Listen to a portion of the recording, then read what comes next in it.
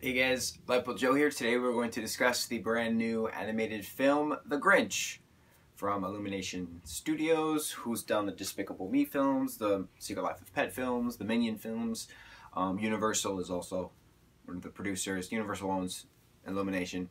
Um, I had such high hopes for this movie because I'm a massive fan of The Grinch. Massive fan. I love his story. I love the the villain turned hero concept. I love the realizing what Christmas means and that kind of a thing. I love the wonder that the story brings. I love the wonder that the original cartoon brings. I love the wonder that the 2000 Ron Howard directed Jim Carrey film brings. This movie was bad. It was bad, and it kills me to say how bad it was. When they announced that Benedict Cumberbatch was going to be the voice of the Grinch, I was like, yeah, that's awesome. When they showed the animation of the Grinch and Max, I was like, yeah, that's great. And then they showed the trailer, and I was like, that doesn't look like Whoville, but I'm I'm excited. And then they announced that you know Tyler the Creator was doing the was like head spear in the the the soundtrack for making the You're a Mean One Mr. Grinch song, and I was like, okay, I'm curious.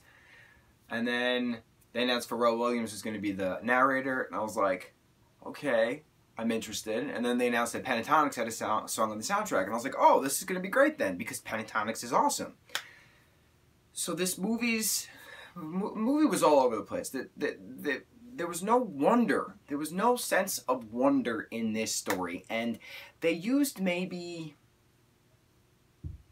an eighth of the rhymes of the book, whereas the TV show and the 2000 version, and even the Broadway show had at least a half, if not more, of the rhymes from the story to, you know, incorporate. Like, what the first moment in this movie that the Grinch meets Cindy Lou Who, the, the whole, you know, he got a cup of water and pat her head and sent her to bed. Not even in, no, no, nothing, nothing of that. The very end of the movie, when Cindy's mom puts the rare roast beast in front of him to carve, because it goes the Grinch. He himself carved the rare roast beast.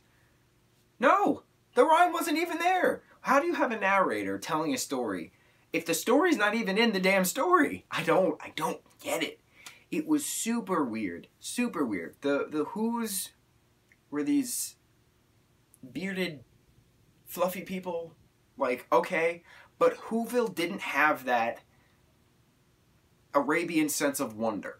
You know, any any any Dr. Seuss book, you always see those, you know, arabesque arches and stuff like that. That's just how he, Dr. Seuss wrote. That's how he drew. That's how he illustrated. And then when the 2000 movie came out, another Universal property um, with Jim Carrey, Ron Howard made sure to go to the detail of how to represent a Dr. Seuss book on the screen. And it, it was magical. It was wonderful. It had that sense of wonder and magic. And I just said magic and wonderful at least four times in this duration of this brief segment. But that movie made sense. Jim Carrey as a Grinch made sense. You know, it had wonder to it. It, it had the rhymes of the story in it. And then this movie didn't have that. Didn't have the wonder. It, it, it was boring.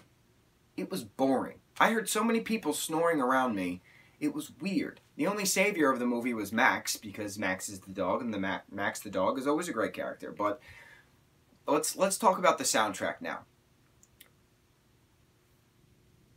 Tyler the Creator having a hip hop Grinch song mixed in with choral music did not make sense.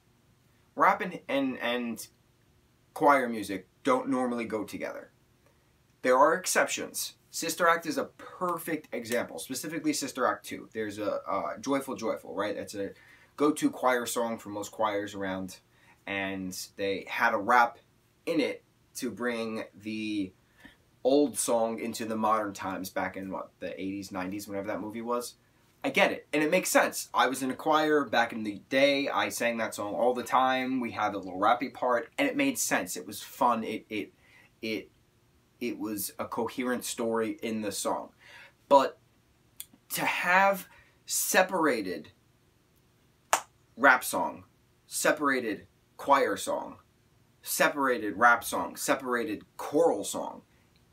I'm super confused.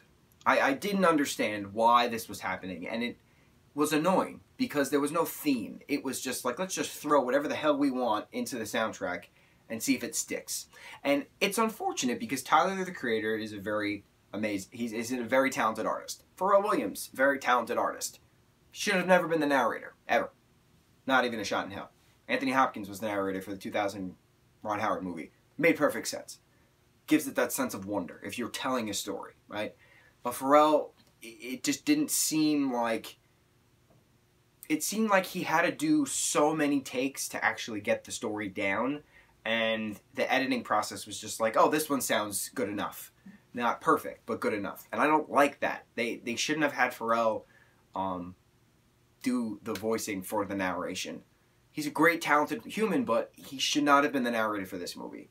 And then I feel horrible for, I mean, I don't feel hard. No, I feel horrible for Pentatonix because they have an amazing, amazing song that they put into this movie that they had different, you know, Whoville, Whovians, Whovalians? I don't know how to say. Whovians. Yeah, Whovians. Different Whovians were singing this song in an a cappella choral aspect, chasing the Grinch around Whoville. It was funny, it made sense. And then that was it. And then there was a rap song, and then there was something else, and then there was another choral song, which had nothing to do with Pentatonix. And the wonder wasn't in the story. Why make this movie if you're not going to put the narration of the story in it? Why are you going to change the narration of the story? It's not. That's not what this. It's not. I have the book. I keep looking this way. Oh no! Wait, this is Horton. Un momento, por favor. Ugh. There we go. How the Grinch Stole Christmas. Right? Let's go to the let's go to the things. And he, he himself, the Grinch, carved the roast beast. The last final page, the last final rhyme. I get it. This movie's an adaptation, but no. It's a bad adaptation. Broadway show, great. 2000 movie, great. 1960s cartoon, great. When did this even come out? I don't even remember. Ugh. 1957. 1957. That's when this came out, right? So great. So like you see, it's it's all this. Uh, where's an example? What was I trying to say before?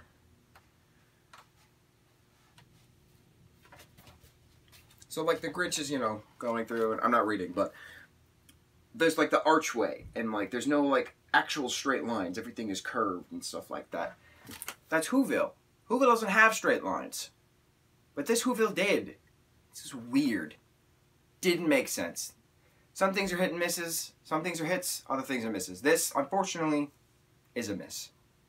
People are going to say 10 years from now, 18 years from now, oh, remember they tried to do that? But people talk about the Grinch from 2000, 18 years from now, and go, "Oh, I am the Grinch.